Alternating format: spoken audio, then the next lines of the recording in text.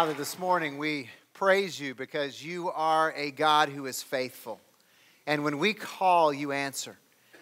Now, Lord, some of us are rejoicing today because we know that you have answered, you have rescued, you have pulled us up out of the depths of despair and darkness and failure. And you have set our feet on solid ground. And today we're here to praise you and celebrate the life that you've given us in Christ. But God, we're also here today because we need to be rescued. And we're calling upon you to, to heal us physically, spiritually, relationally. We're, we're asking that you would lift us up out of the depths that we have sunk to. Lord, some are here despairing of life, even. And we pray that your spirit would move in this room. And whether we're here in desperation or in praise, that you would meet us in this place and you would bring hope into our lives. We ask it in Jesus' name. Amen. I'm going to invite you to take your Bibles or your Bible apps and turn to the book of Ezekiel. I know some of you didn't even know there was a book called Ezekiel in the Bible. That's okay. Uh, learn something new all the time. It's in the Old Testament, it's a little bit after Psalms, it's one of the prophets. And uh, if you don't have a Bible with you or a Bible app uh, on your device, then grab one of the, the Bibles that are in the pews around you. Feel free to use one of those. Feel free to take one of those if you need it and you'll read it. So um, it's there for you. Hey, before we dive into the message, uh, let me just uh, uh, remind you that after Labor Day, so two weekends away, we are going back to five worship services on a weekend. We're going to have two on Saturday, one at 4:30, one at 6 again. And uh, guys, I want you to look around for a moment. It's August, and we're full here at 9:30. And, and uh, yeah, isn't that cool? And, uh, and I'm rejoicing with that too, but I'm also looking at this going, uh, we don't have our, you know, people who ran away for the summer back yet. We don't have our snowbirds, uh, all that kind of stuff. And uh, so here's the request I'm going to make for you. I, am really going to uh, challenge some of you to seek God and ask if He would uh, have you come on Saturday nights uh, just as a way of opening up some space for people who need to know Christ, who, who want to come worship Him, uh, and, uh, and all of that. So, uh, you know, it's not like we're going to go down and number you off, you know, say one, two, three, and you're, you, know, you got to go. But, uh, but I know that there's some of you that uh, Saturday it would work, and, and we've got exactly the same service. Exact Miss Julie's here. Your kids might get a little more personal attention because there won't be quite as many of them. Uh, but uh, it's just something for you to consider. So uh, we need, you know, 40, 50 people to pick one of the services. It doesn't matter which one. They're about evenly divided on Saturday, and, and move to that service as your part of your service to God is uh, just moving your time. So if you're up to that, uh, I'm just throwing it out there again. That starts after Labor Day weekend, two weekends away. And because uh, uh, otherwise, we're going to what, we'll just be overflowing. And, and that's a great problem to have because we're getting ready to build a building. So that said, Ezekiel 37 is where we're going to be. We're starting a series called Words of the Wise. And we are looking at messages of three prophets over the next three weeks.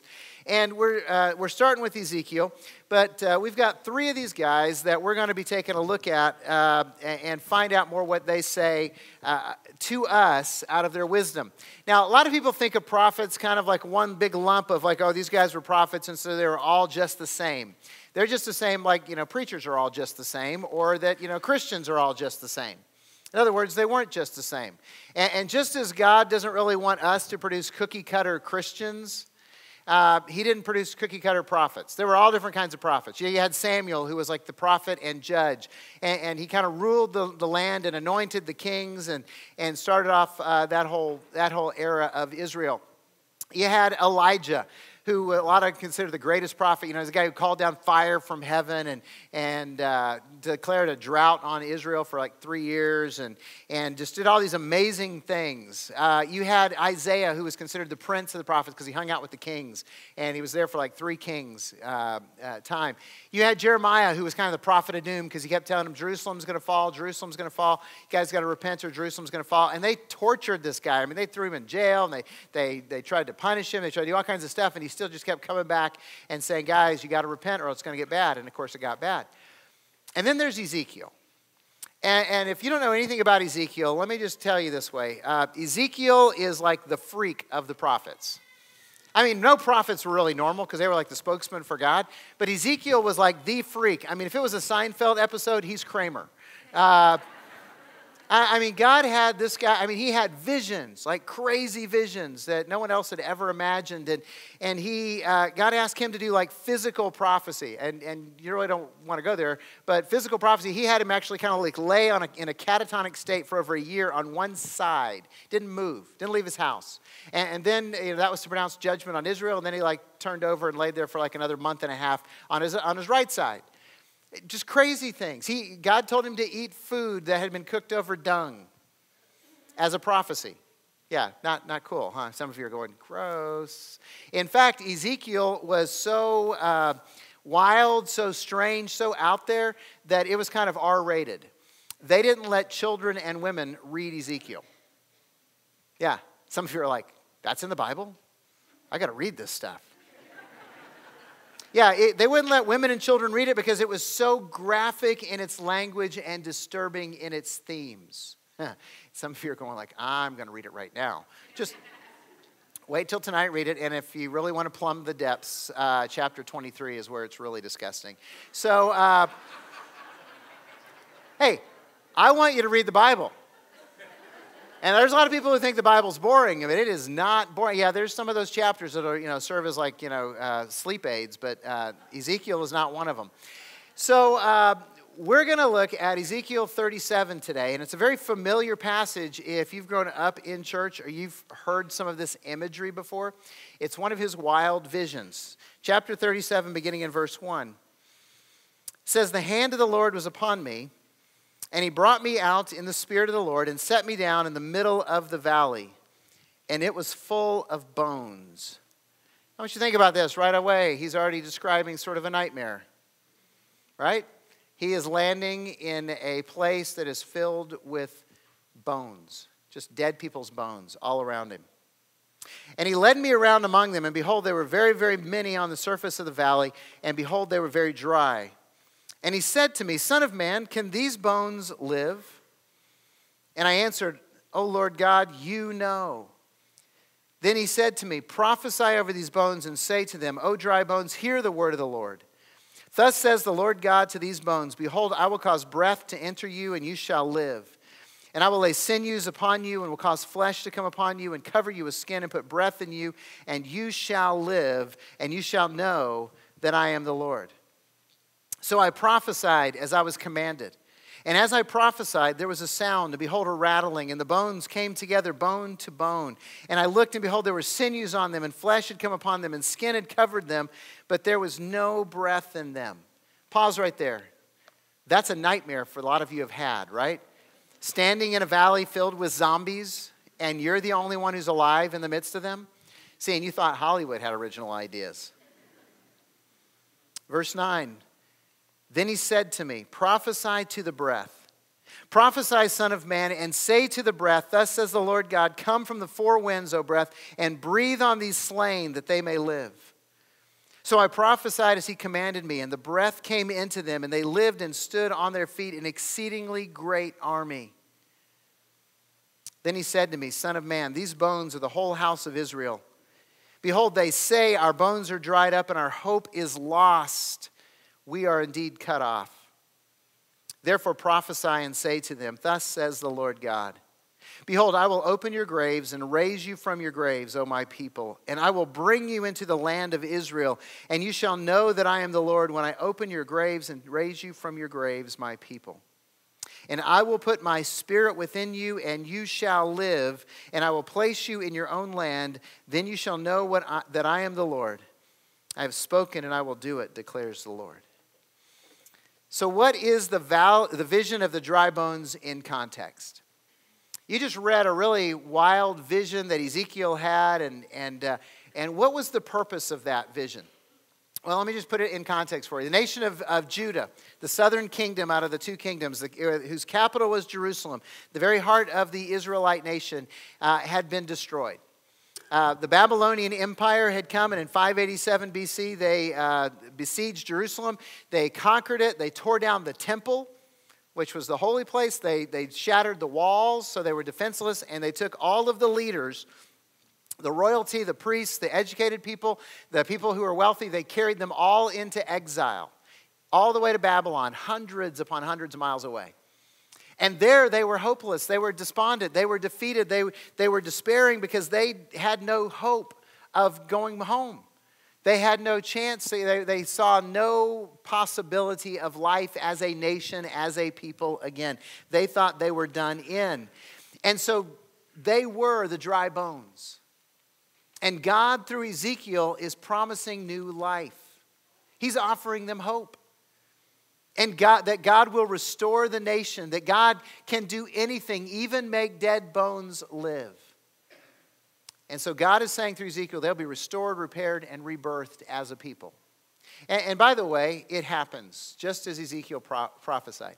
About 70 years later, the Babylonian Empire is conquered by the Persian Empire, and the Persian king, King Artaxerxes, says, Hey, you, you Jews, you can go home. You can go back to Jerusalem. You can have your city again. And so they go back to Jerusalem and they rebuild the temple. And, and, then they rebuild the walls and they function again as a city, as a nation. Now, most of that time, they were under somebody else's rule the Persians and then the Greeks and then the Romans, through the time of Messiah, ruled Israel. But they had their temple, they had their city, they had their identity as a nation. So, this was a tremendous message of hope to people who were broken and despairing. That's the context. So, what is about the valley of dry bones today? What do we need to know? What do we need to understand? Because this was written directly to a group of exiles 2,600 years ago about their situation and their condition. So, what does it mean to us when we read this? You know, besides the fact that Ezekiel was a freak and had really cool visions, what do, what do we need to learn? Well, here's some things I see in this that I think apply to us. Uh, first of all, we kind of live in a valley of dry bones, don't we? And I'm not talking about the t shirts that say, it's a dry heat, you know. Although those would be kind of appropriate for this message, wouldn't they? Um, but literally, here in Lake Havasu, we are surrounded by people with flesh and sinews and blood, but no breath. No real life is in them.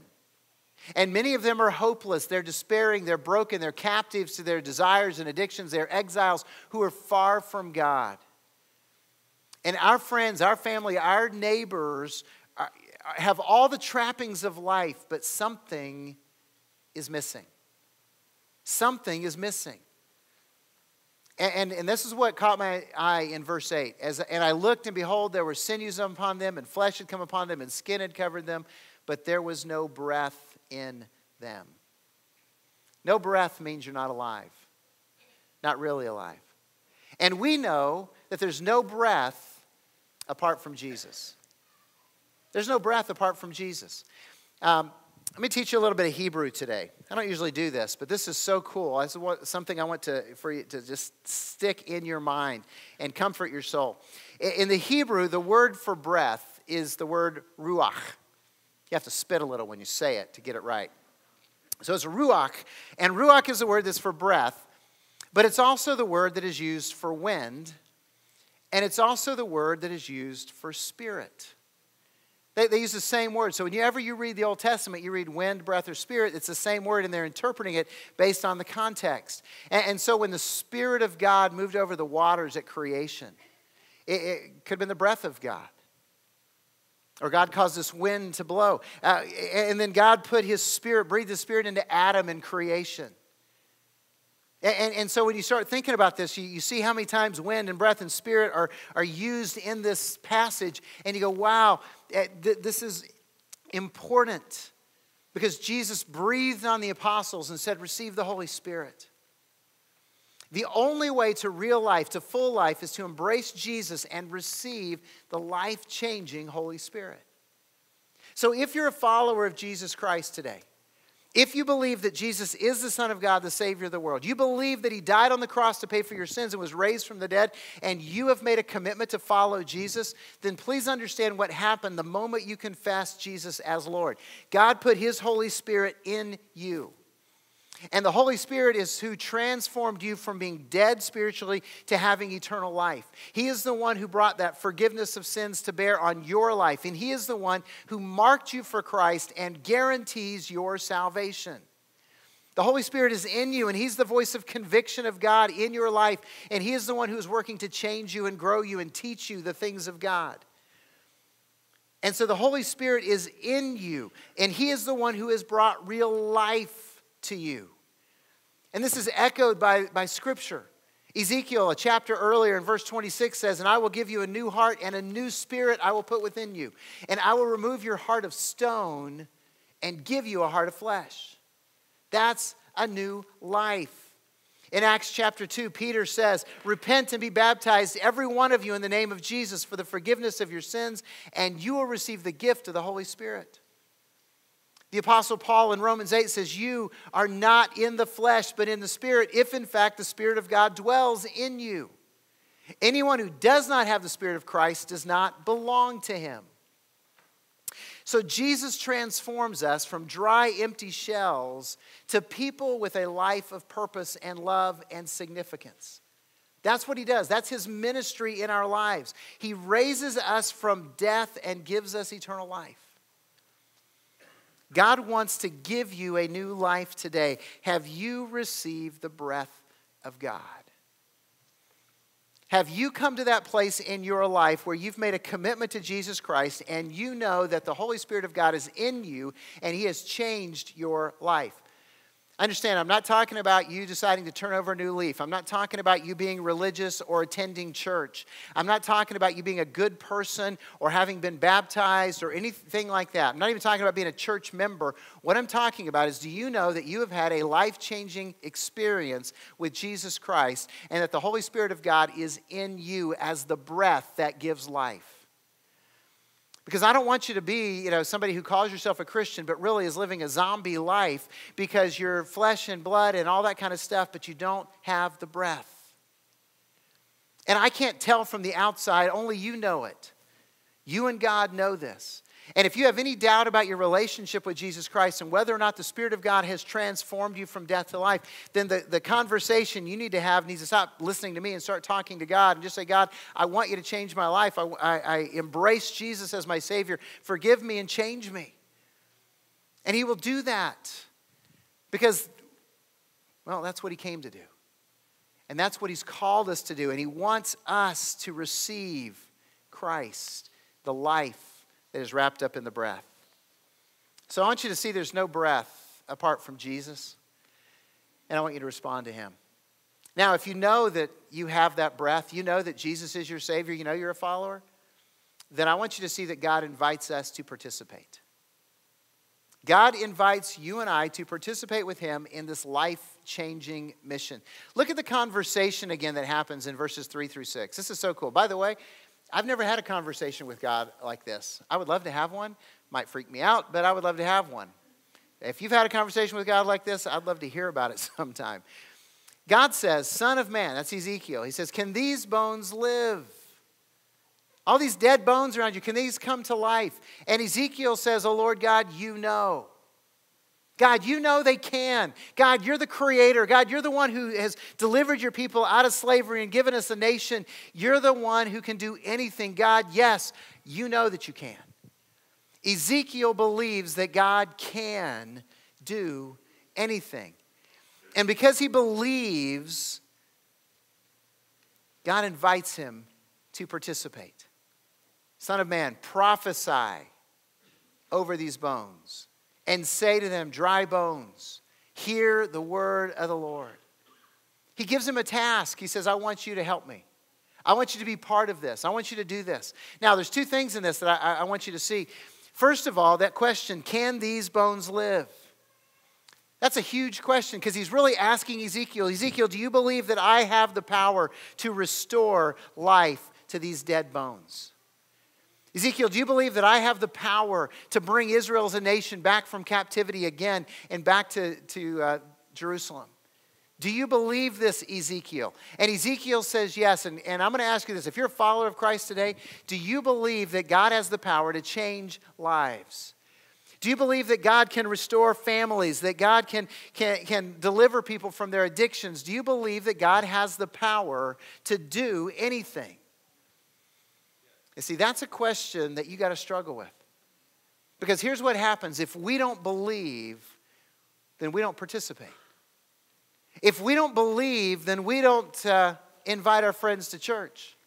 If we don't believe, then we don't offer people hope when they are despairing. If we don't really believe that God has the power to change lives, then we don't tell anybody how He's changed our life.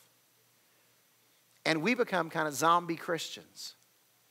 Oh, we've got the breath in us, but we just don't believe enough to share it with anyone else.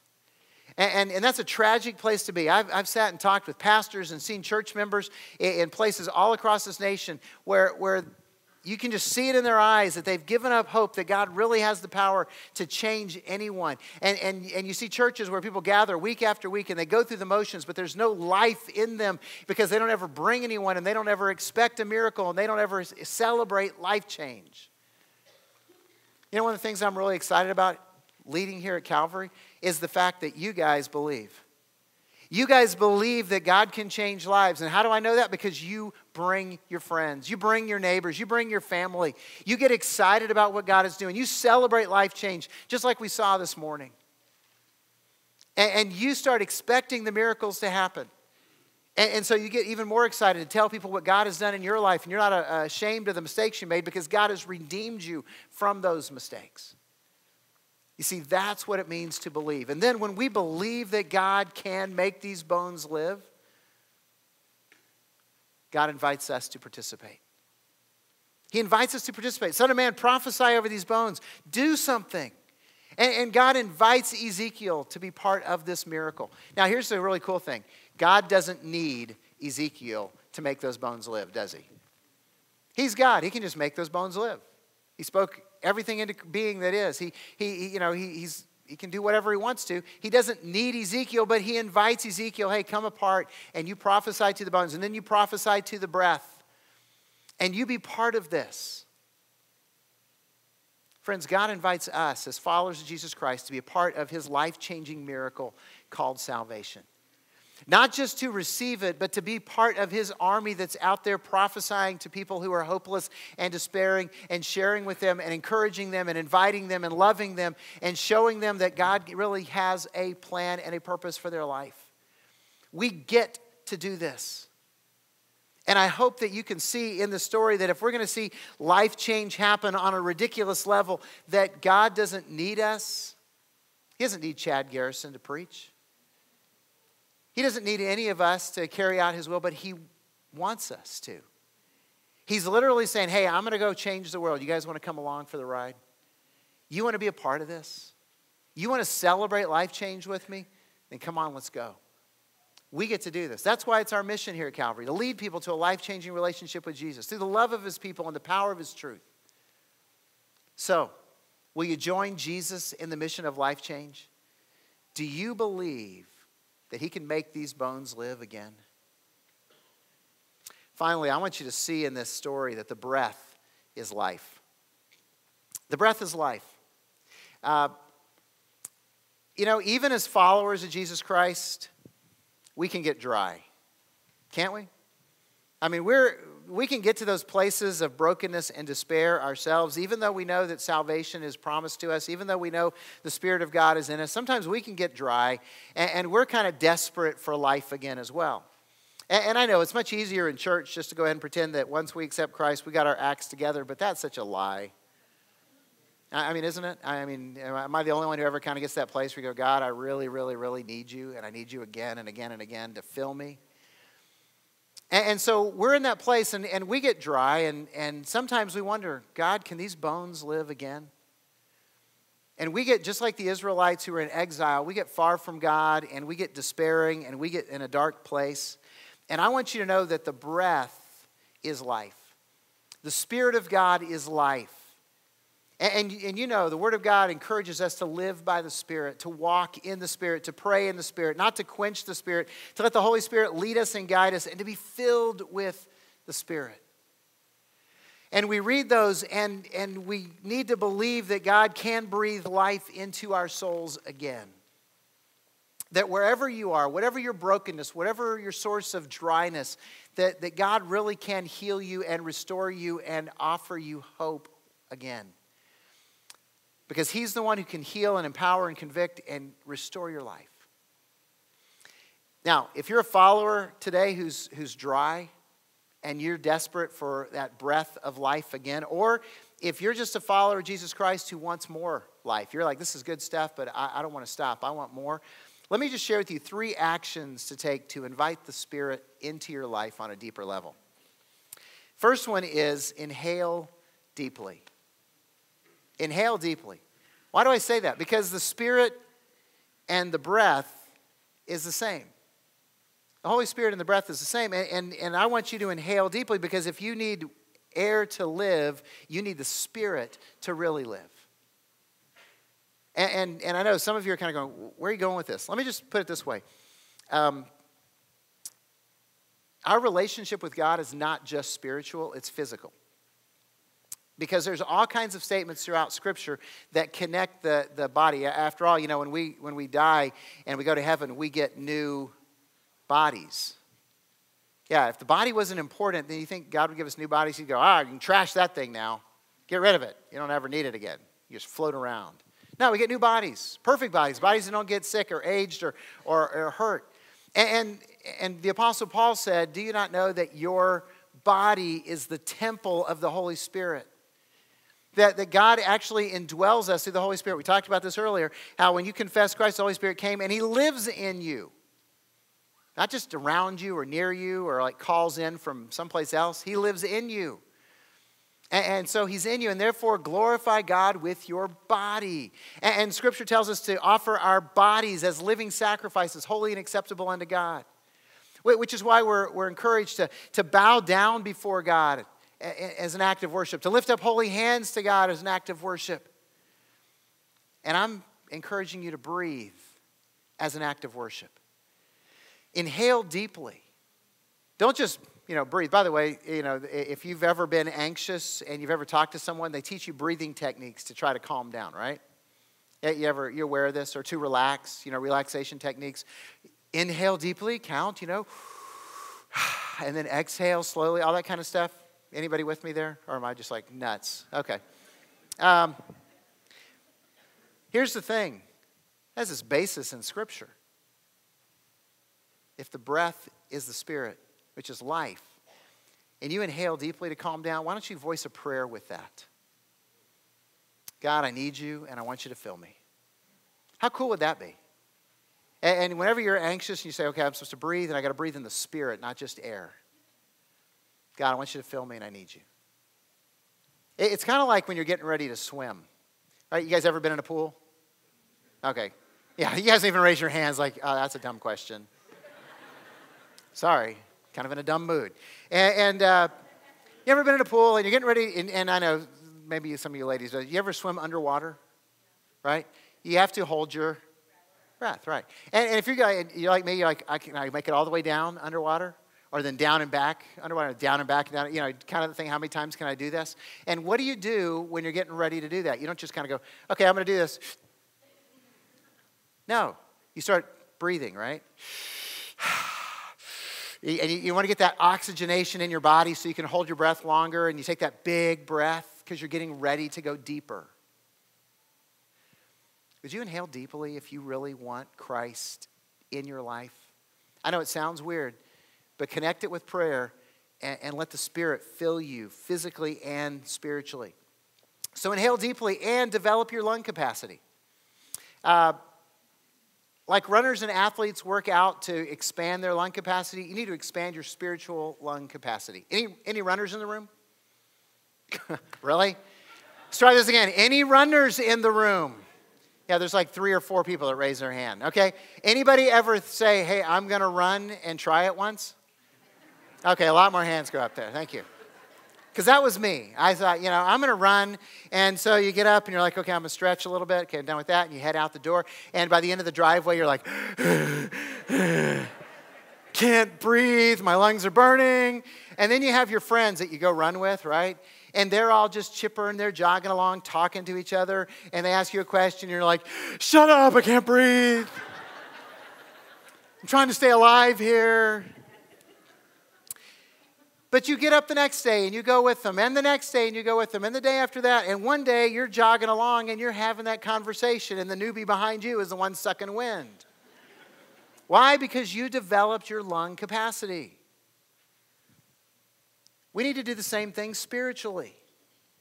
Now, you might have a low lung capacity physically because you're sick. You know, maybe you got COPD or emphysema or some other kind of uh, uh, you know breathing disorder, and, and you need oxygen, and you and you're struggling for breath. It, there's nothing you can really do about that. But maybe you just don't have a very good lung capacity because, let's face it, you're lazy, right? Because you're not going to develop a lung capacity like this. Kick back with the remote control, flipping channels. That does not develop lung capacity. Right here, this is not exercise. And some of us have low capacity spiritually because we're sick. We're holding on to sin in our life that is killing us, that is destroying us, and we know it, but we don't want to let go of it. And we can do something about it if we'll repent and we'll ask God to free us from that. And some of us just don't have a very big spiritual lung capacity because we're lazy. And we've never stepped into the discipline of trying to grow deeper with Christ. And by the way, those disciplines are things like prayer, where you breathe in the Holy Spirit and you have that conversation with Him, or reading the Bible. Why do we want you to read the Bible? Because it's the Word of God, and if you want to hear God's voice, He will speak to you from this book. In fact, I told you, I've never had a conversation with God like Ezekiel, but I've had conversations with God that center around this Word.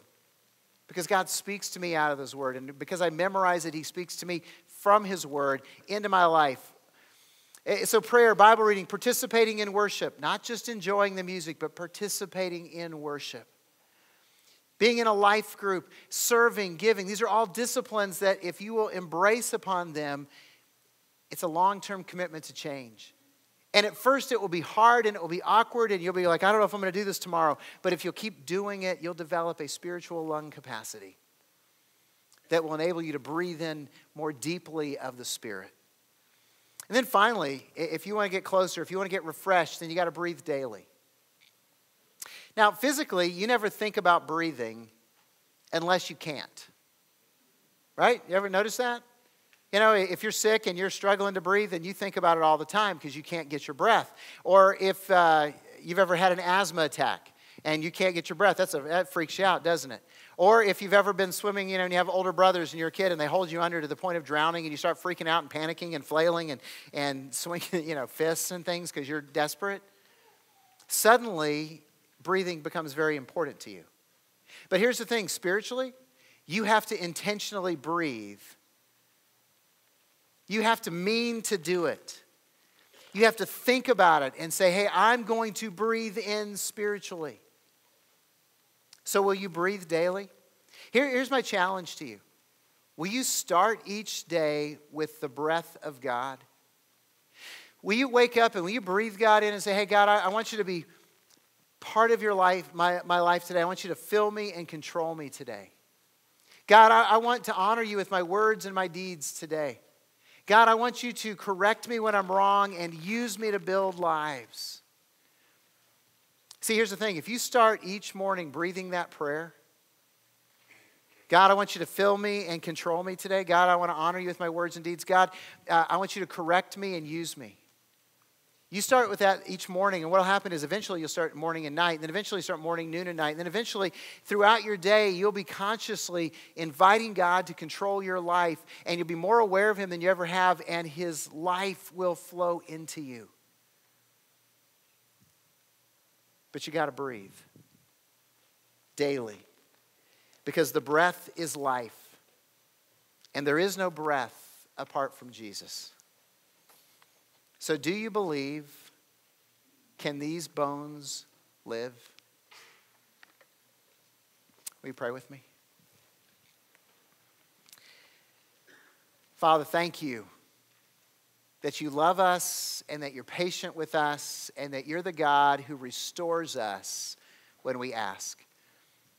Lord, today we're calling upon you and we're asking that you would answer and that you would restore life where it is broken and, and desolate. That you would fill us with your spirit and you would teach us how to physically invite you into our lives on a daily basis. Lord, we need you. We're desperate for you. And so we ask that you would meet us in this place and you would change us in Jesus' name. Amen. Let's stand and worship our God together.